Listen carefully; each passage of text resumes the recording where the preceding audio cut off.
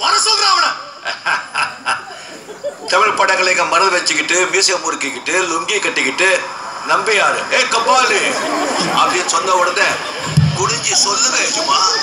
அப்படி வந்து நிப்பாரு அந்த மாதிரி கபாலி நினைச்சியாடா?